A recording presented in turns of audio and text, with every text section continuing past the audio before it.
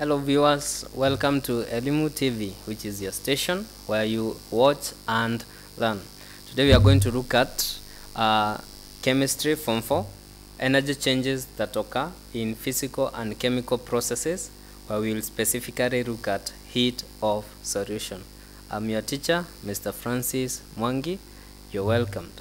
So what are the goals of this lesson? By the end of this lesson, you're supposed to be able to define what is heat of solution and you're supposed also to be able to determine what we refer to as heat of solution or molar heat of solution which is as a result of a substance dissolving to form a solution.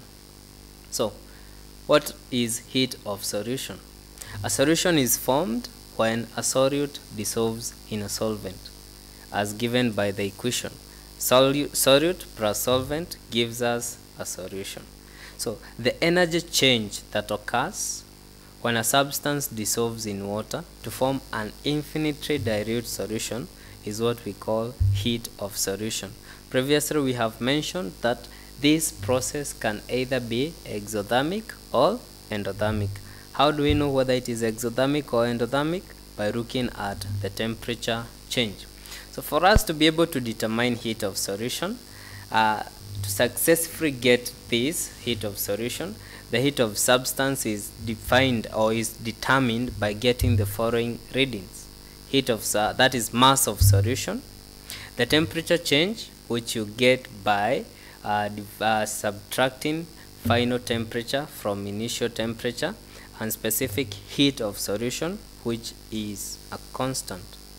So for instance, calculate the enthalpy change that occurs when 10 grams of sodium hydroxide is completely dissolved in 100 ml of distilled water and a temperature of 5 Kelvin obtained. Take the specific heat capacity to be 4.2 uh, joules per kilo per grams per Kelvin. So from this illustration, you'll be able to see how we get the temperature change from initial to final temperature reading. Uh, you need first to dip your thermometer in the solution that is in the water from where you are going to dissolve and you get the initial temperature. Add the solute to be dissolved in the solvent and once you dissolve you you add it to the uh, water this gives us a solution as it dissolves. And as you can see immediately the process of dissolving starts the temperature reads.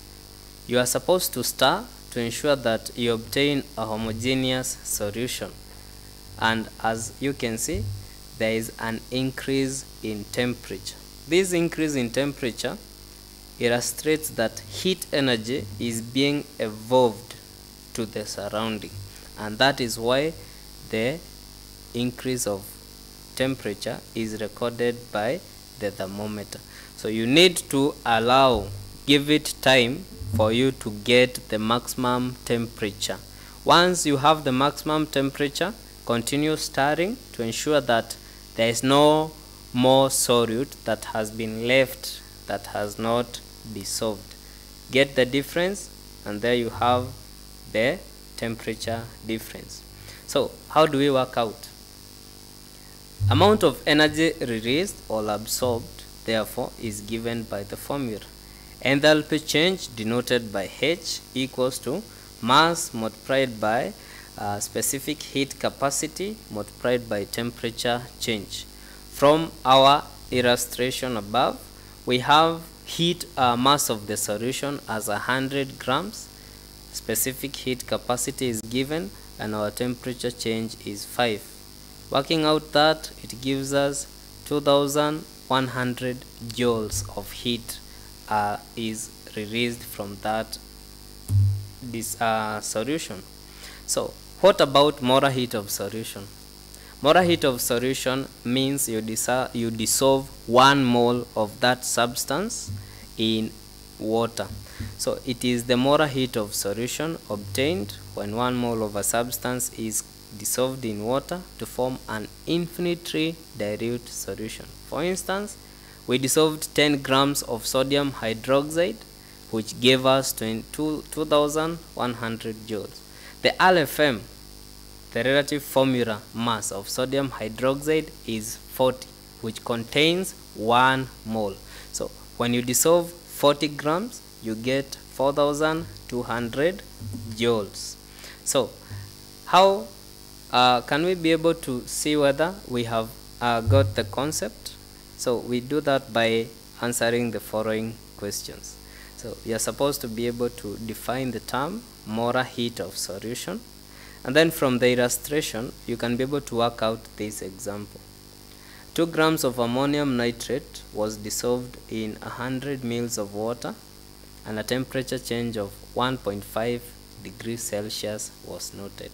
So determine the molar heat of solution of ammonium nitrate given that the relative atomic mass of nitrogen is 14 that of hydrogen is 1 and oxygen is 16 for more uh, understanding of this concept you can refer to the following reference.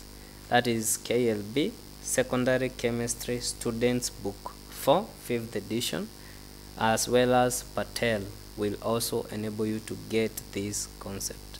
Thank you for watching and make sure you attempt the exercise. You're welcome